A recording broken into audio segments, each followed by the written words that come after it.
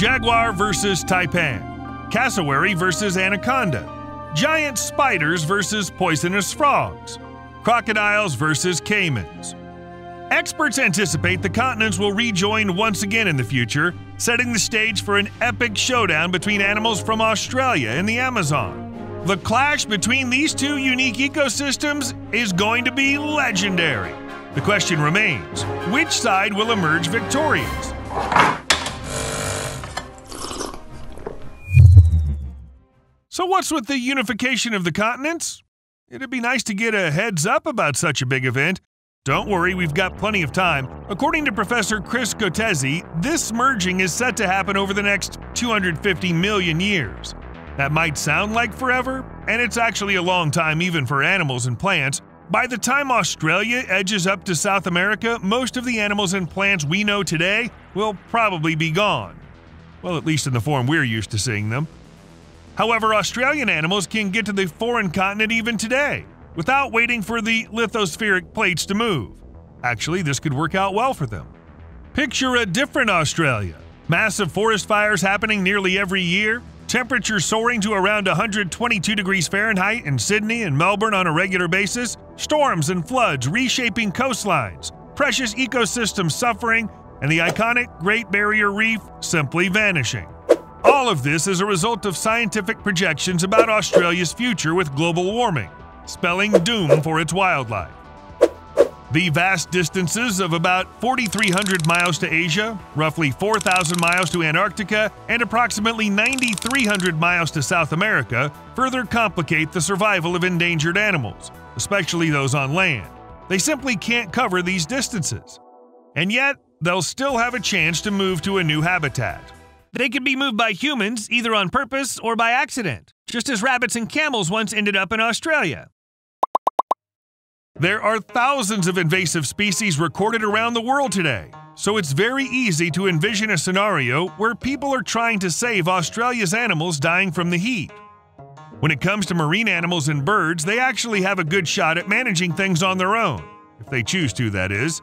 Take crocodiles, for instance. They hitch rides on sea currents for long journeys, getting carried along for hundreds of miles. Now, let's consider the potential risk posed by newly arrived animals for those that have lived in the continent for a while. Personally, my initial concern was about spiders.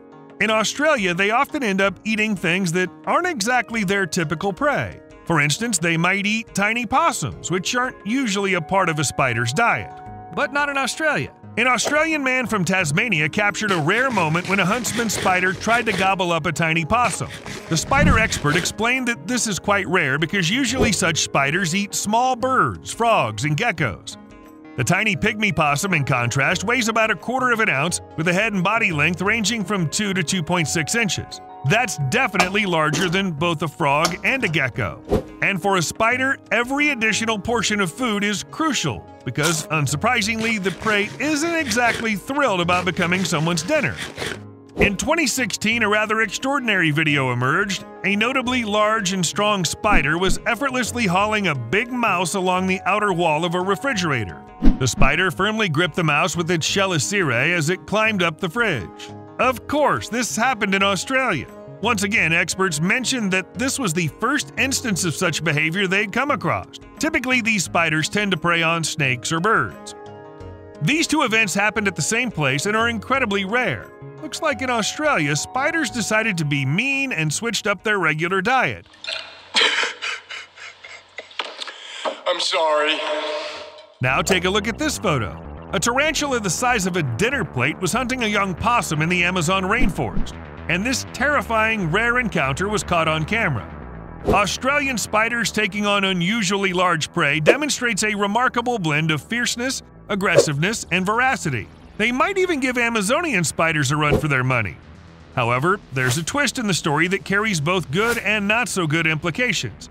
These spiders you see in the photos, which are known as huntsman spiders, are already established and doing well in regions of South America. Picture the scenario where Australian spiders mingle with the spiders in South America. What kind of prey might these spiders go after? But all that's nothing compared to crocodiles. Here it is, an animal that can truly thrive in the waters of the Amazon. Caimans, arapaimas, pikes, river dolphins, even otters all of these animals have not yet seen such a large and deadly predator, and something tells us that the crocodile will get to the very top of the food chain. Remember that introducing new predators could potentially wreak havoc on the ecosystem. Many experts also think that one of the major reasons for animals dying out is when predators end up in a closed off environment. This is because the balance of who eats whom is quite delicate. This was shown through an experiment where researchers looked at three lizard species, two were prey and one was a predator. The two prey species managed to coexist without problems, one stayed up in the trees while the other preferred the lower ground.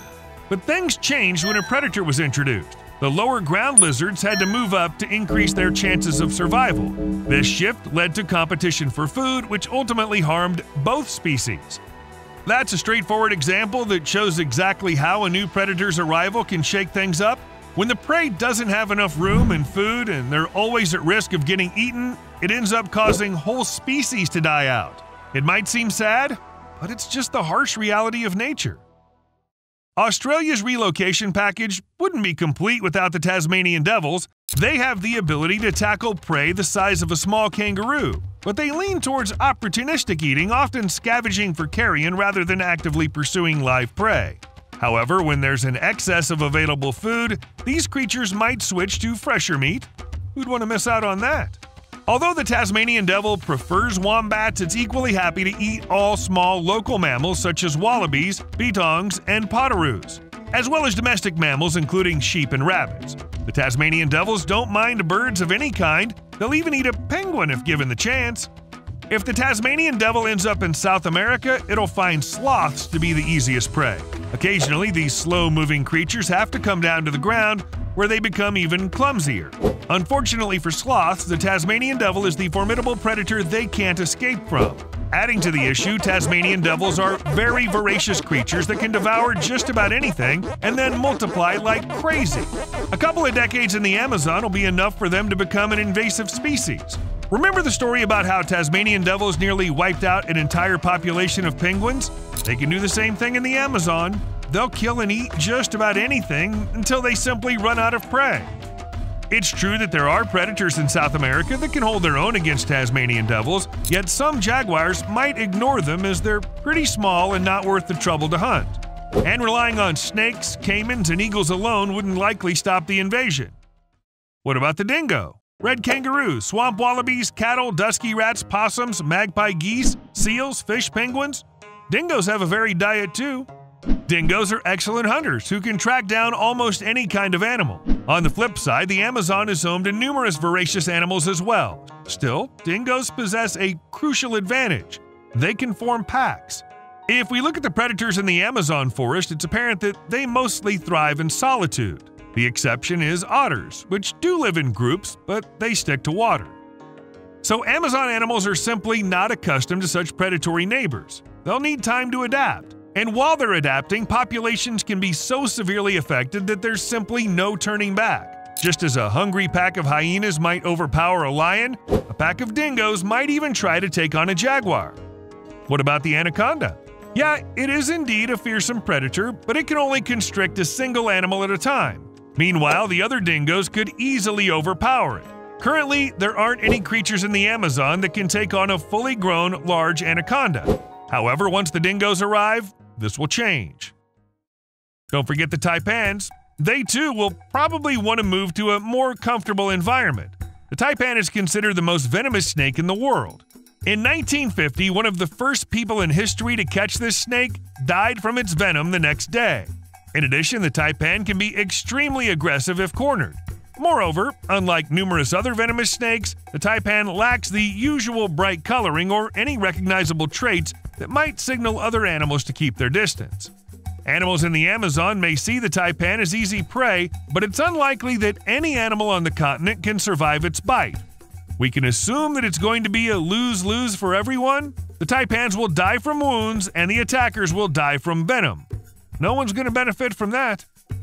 In the wild of their native Australia, taipans have virtually no natural predators. And potential prey knows better than to mess with this snake. In the Amazon, animals will need time to pick up new things, and this unfortunately results in a lot of deaths, a truly massive number. To make it clear, here's a fact Just one taipan bite can bring to an end 100 humans or 250,000 mice. So everyone's at risk, including jaguars and anacondas. On the flip side, newly born and young taipans have a bunch of natural enemies like various birds of prey and monitor lizards. This might be a bit of an issue for taipans because there are quite a few predators in South America. Still, it doesn't seem like a big problem to me, more like a minor obstacle. And then we have cassowaries. These are unique Australian birds that I would describe as a bit of a paradox. On one hand, they prefer avoiding conflicts whenever possible. Some scientists even mention that studying cassowaries is tricky because they tend to run away before people can even get close to them. But on the other hand, a single cassowary is not only capable of protecting itself, but it can also launch an attack.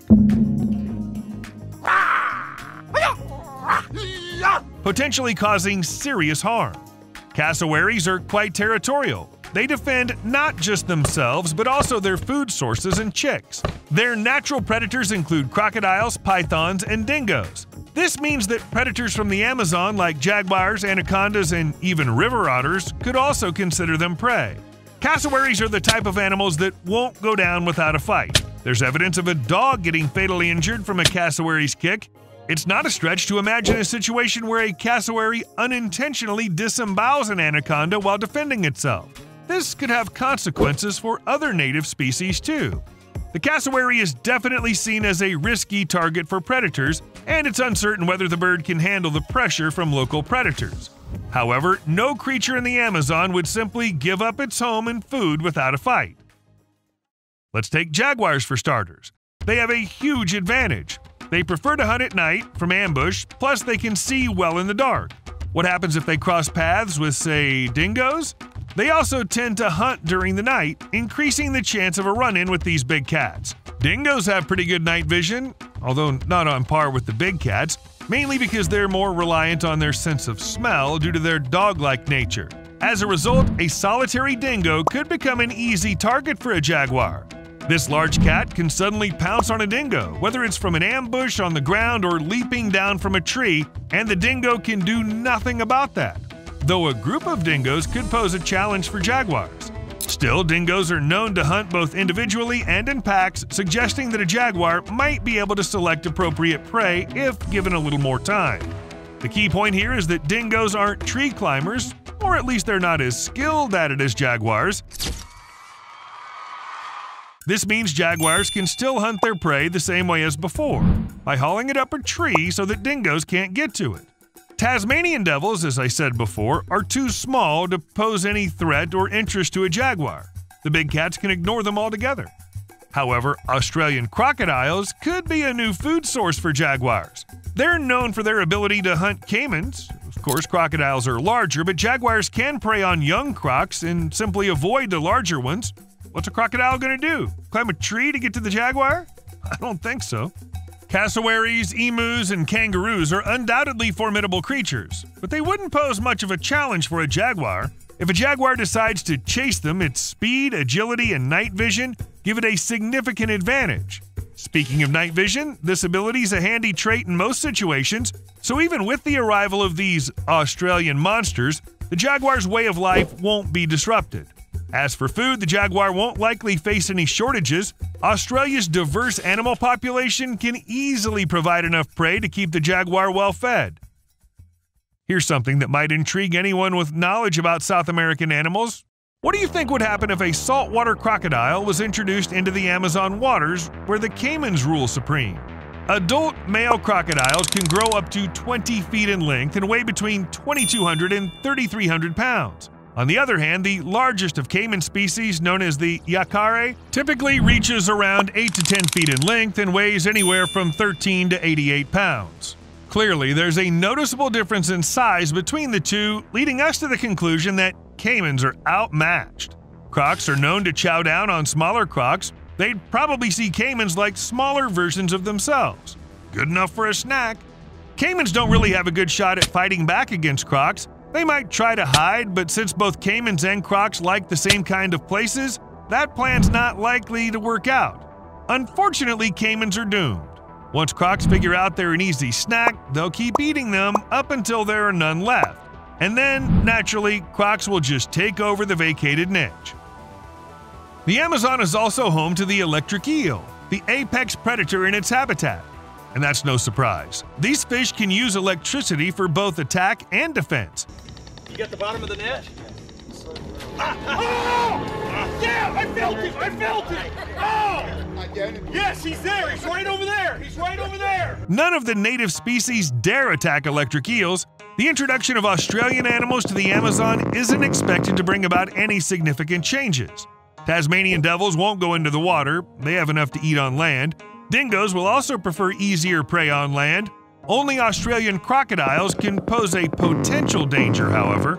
A few years ago, eyewitnesses captured unique footage of a caiman biting an electric eel and then dying from the discharge. That is, the electricity the eel generates is strong enough to kill even such an animal. While in this video the eel was eventually killed by the caiman's jaws, encounters like this can serve as a wake up call for all other animals.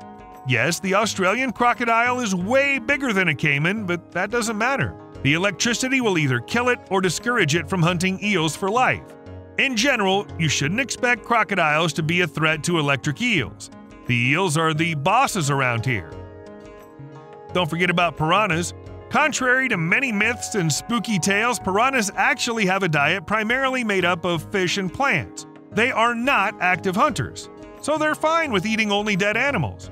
In order for piranhas to show any interest in something as food, that something has to already be dead.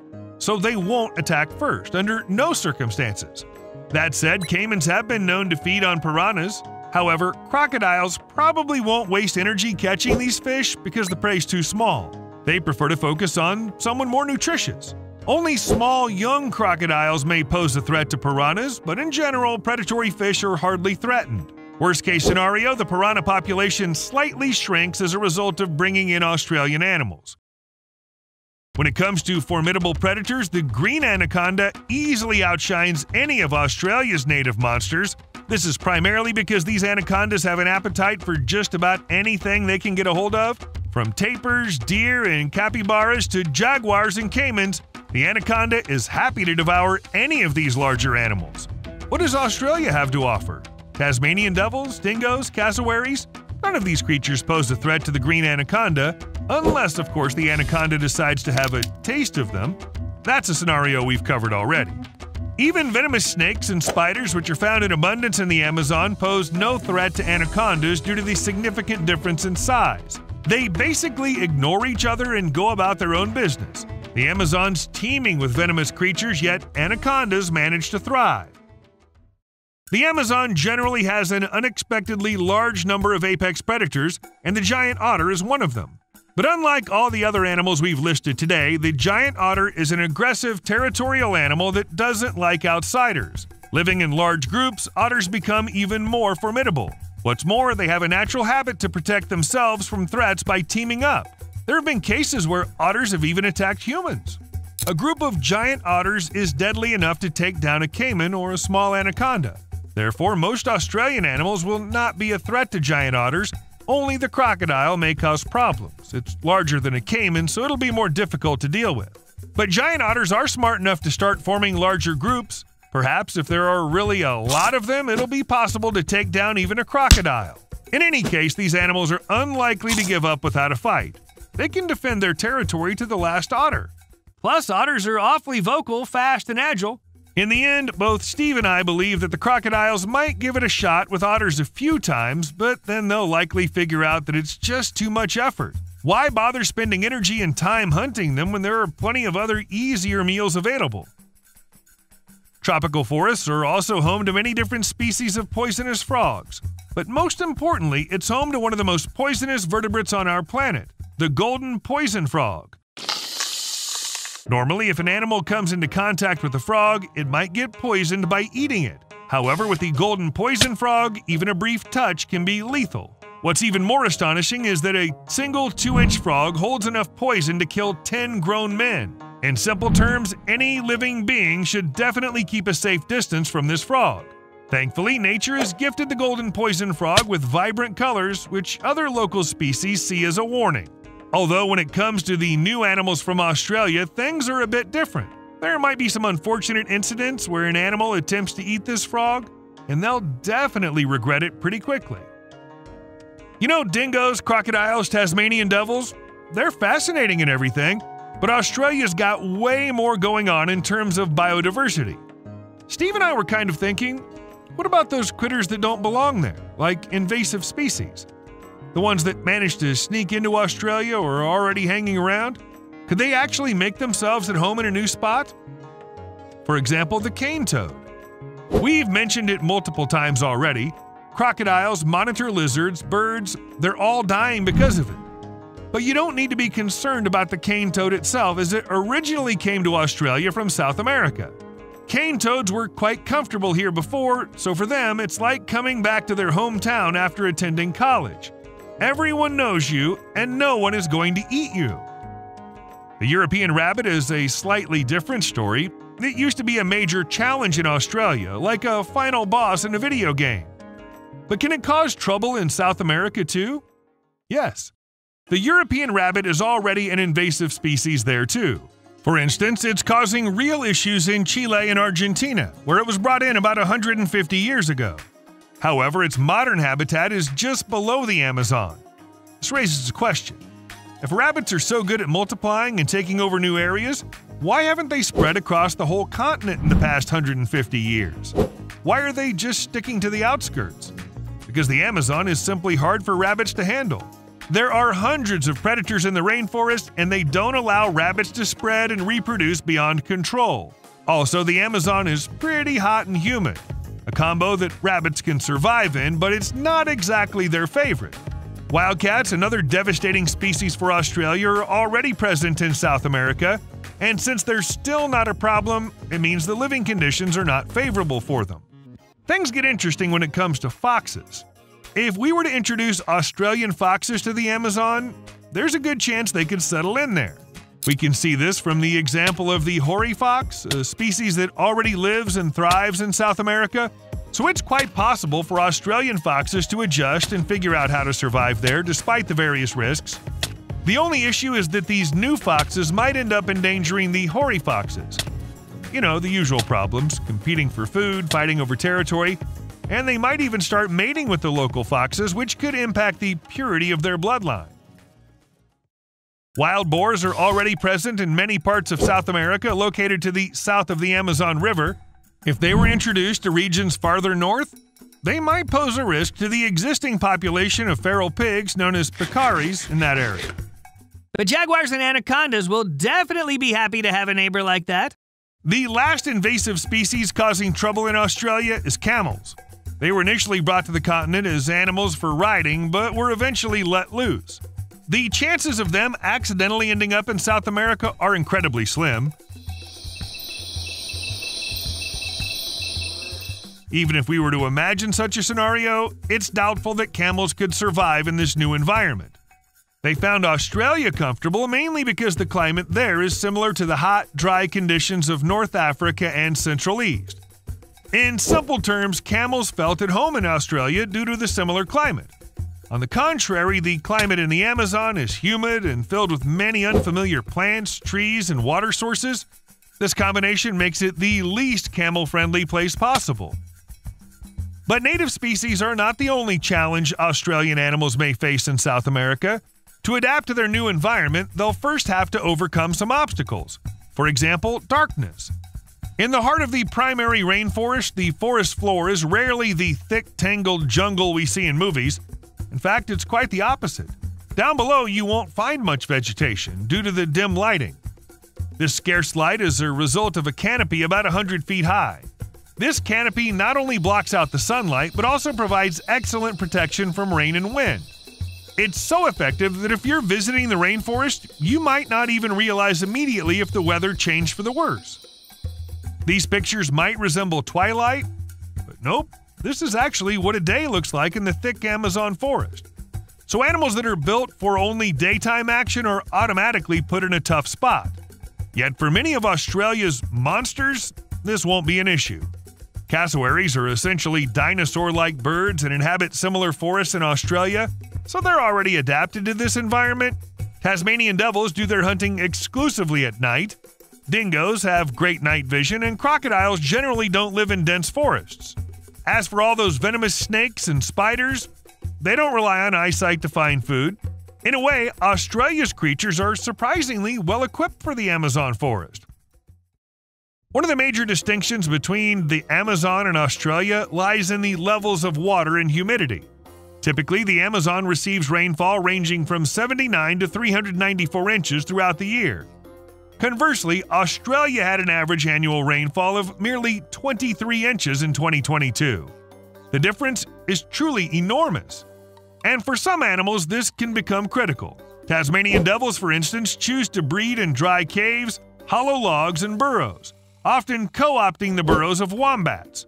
Yes, those same wombats that Tasmanian devils eat. They really like warm and dry spots, something quite scarce in the Amazon. Dingoes also set up their dens in rabbit holes, caves, or hollow logs. They too need that dry environment. And it's not just the wet ground that's the issue. Each year, more than 96,000 square miles of Amazonian floodplain forest get submerged by water overflowing from rivers. This phenomenon creates the most extensive system of flooded forests on Earth. The landscape is changing dramatically, but it's also vital to the effective functioning of the Amazon basin area. Floodplain forests represent between 3 and 4% of the basin area. On this map, the places that are never flooded are highlighted in black. And if you think there are a lot of these places, take a closer look. The whole area is covered with rivers, streams, various bodies of water, and everything around them is regularly flooded, which means that animals that live in burrows won't be able to live there. Yet, setting aside this point, Australian animals can easily rival their Amazonian counterparts. Consider dingoes, cassowaries, and Tasmanian devils. They all display excellent swimming abilities and show no fear of water whatsoever. And yes, crocodiles would really love it there. Yet there's another factor that's like a wild card. Animals sharing the same territories for hundreds or even thousands of years encounter numerous diseases and then build up resistance to them. So let's say an Australian crocodile catches a disease from a caiman, which might be as insignificant for the caiman as a mild cold is for humans. However, since the crocodile doesn't have that immunity, it wouldn't survive. The Virginia white-tailed deer illustrates this point well. It carries several diseases that don't harm the deer itself but can be deadly for larger species. As a result, animals like moose and elk are almost extinct in areas where Virginia white-tailed deer live. A similar situation might occur for animals in Australia or even for native species in the Amazon. It all depends on whose infection turns out to be more potent. Now, let's imagine a scenario where all the animals we've discussed today somehow ended up in the Amazon rainforest and not in some distant future, but very soon. The clash of species is becoming an immediate concern. Can we find a way to resolve this conflict before it even happens? Come up with some solution? Maybe use something like the fences they put up in Australia? Don't forget, we're dealing with the Amazon rainforest here, which brings certain challenges. The dense jungle is so tough to navigate that certain parts remain unexplored even today. We're not sure about the exact numbers and species of animals hiding in there. Picture this a hot, humid environment, difficult for construction and any other equipment to traverse. Also, in some spots, the local trees can grow as tall as 100 to 200 feet, with the tallest one reaching a staggering 290 feet. Just thinking about how tricky and costly it'd be to erect fences in such conditions is scary. Just to give you an idea, these are the fences you'd find in Australia. And they do their job just fine. But notice the landscape. It's pretty barren with very few trees. Now, how would something similar appear in a place like this, for instance? And even if fences were built, imagine how difficult it would be to repair and maintain them. Not to mention that fences are never good for animals in general. The way regular fences are put together can accidentally hurt them, or worse. Fences can also prevent animals from finding food and water and even separate babies from their parents. And large barriers in general can impede migration and even disrupt ecosystems. So, fences are definitely not a solution to the problem. All that remains to ponder are the outcomes. Asian carp were introduced to the U.S. with the aim of clearing pipes, but now they've turned into an invasive species, putting the nation's rivers and lakes at risk. Cane toads were imported to Australia to eliminate bugs on sugar plantations, yet these toads have spiraled out of control, causing harm to native animals who get poisoned. Foxes and rabbits were brought to Australia for entertainment, but now they cause millions of dollars in damages annually. These are just a couple of cases among many others. Whenever people relocate a wild animal from one area to another, even if they mean well, the results are hard to predict. You'd have to be Doctor Strange to look at every possible scenario, and maybe one of them will be favorable. So, moving animals to a new area, even if it saves the population, is not solving the problem. It's creating a whole bunch of new problems, and it's almost guaranteed to harm local species. All in all, humans are certainly not going to make things any better than they already are. Nature figured out how to spread animals across the planet a long time ago, giving each one its own special niche. However, it may also consider other options. See you later.